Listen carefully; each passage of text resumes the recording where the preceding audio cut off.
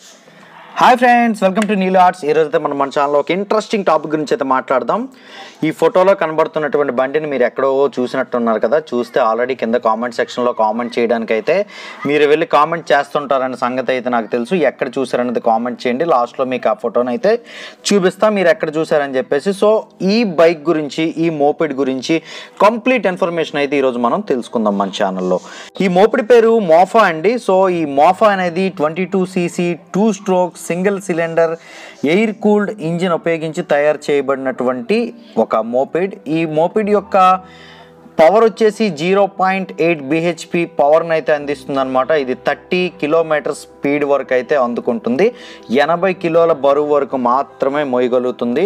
మీరు ఎక్కడైతే ఈ బైక్ చూసారో ఆ బైక్ వాడినటువంటి వ్యక్తిని బట్టి ఒక ఇద్దరు బరువు అయితే మోసేయగలదు. అండ్ ఈ మోపిడి యొక్క ఫ్యూయల్ ట్యాంక్ కెపాసిటీ వచ్చేసి one point four eight litres అయితే పడుతుంది. అది కూడా మరి చూసారు కదా ఒక గొట్టంలా ఉంది కదా. పైప్లా సో ఆ ఫ్రంట్ ఫ్రేమ్ పైప్ ఏదైతే ఉందో దాంట్లోనే మనం ఫ్యూయల్ ఫిల్ అయితే చేసుకోవాలి.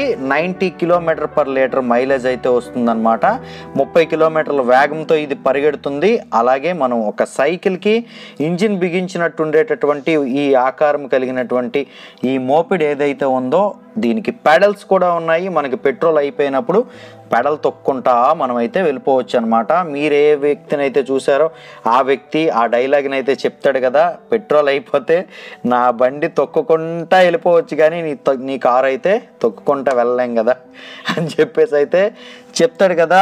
అండ్ దీంట్లో మనకి సస్పెన్షన్ వచ్చేసి సీట్ కింద అయితే ప్రొవైడ్ చేశారు. బ్రేక్స్ అయితే హ్యాండిల్స్ దగ్గర అయితే ఉంటాయన్నమాట. వైర్ బ్రేక్స్ అయితే దీంట్లో మనకి ఇవ్వడం జరిగింది. మనం ప్రీవియస్గా టీవీఎస్ చాంప్ లేకపోతే లోనా ఇటువంటి బైక్స్లో మనకి హ్యాండిల్ దగ్గర అయితే బ్రేక్స్ అనేవి ఉండేవి కదా. సో మనకి స్కూటీస్లో ఏ విధంగా అయితే యూస్ చేశారు వైర్ బ్రేక్స్ అటువంటి వైర్ బ్రేక్స్ని అయితే దీంట్లో యూస్ చేయడం అయితే జరిగింది.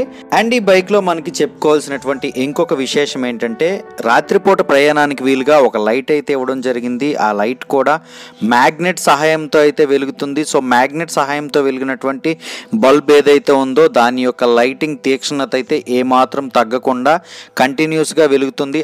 అలాగే బ్యాక్ సైడ్ సేఫ్టీ పర్పస్లో ఒక రిఫ్లెక్టర్ అయితే ఇవ్వడం జరిగింది. దీంట్లో మనకి బ్యాటరీ అయితే ఉండదు. మనకి వెనక చక్రం పక్కన చిన్న ఎగ్జాస్ట్ కూడా దీంట్లో మనం చూడొచ్చు.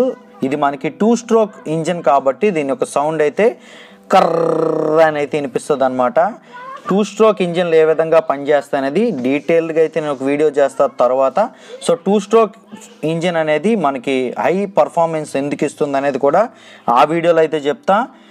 ఈ బైక్ని ఎంతవరకు నమ్మొచ్చు అనేసి అంటే ఈ బైక్ని Indian motorcycle manufacturing company అయినటువంటి ది గ్రేట్ రాయల్ ఎన్ఫీల్డ్ అయితే తయారు చేసింది. అండ్ రాయల్ ఎన్ఫీల్డ్ ఈ మోఫాని Italy Morbidelli motorcycle manufacturer సహాయంతో అయితే డిజైన్ చేయించుకొని తయారు చేయడం అయితే జరిగింది. పంతొమ్మిది వందల ఎనభైలలో ఇండియన్ రోడ్స్ మీద ఇది చాలా బాగా పర్ఫామ్ చేసినటువంటి ఒక మోపిడ్ అని అయితే చెప్పుకోవచ్చు. Thank you Royal Enfield.